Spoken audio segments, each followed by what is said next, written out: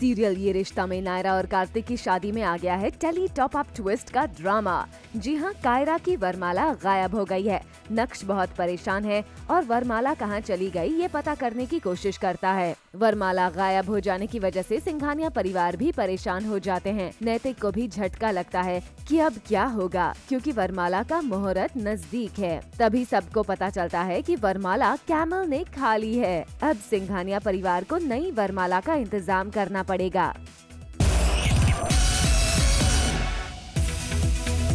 Serial ये रिश्ता में नायरा को वरमाला की रस्म करने के लिए तैयार करके लाते हैं। कार्तिक बारात लेकर पहुँच चुका है और वो स्टेज पर नायरा का वेट कर रहा है। तभी नायरा स्टेज पर आती है और दोनों एक दूसरे को वरमाला पहनाते हैं। वरमाला की रस्म में नायरा और कार्तिक ने खूब मस्ती की।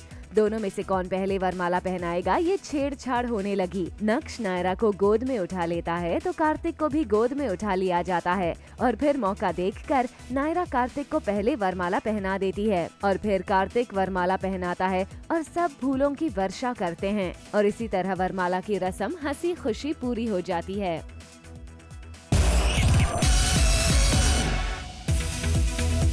सीरियल उड़ान में आ गया है हाई पॉइंट ड्रामा जहाँ सूरज को जॉब मिला है और वो जॉब है बेबी सिटिंग का जब सूरज बच्चों के साथ मस्ती कर रहा है और अब खेल रहा है For all the Garma Garam Bollywood gossip news and more, download the Zoom app now.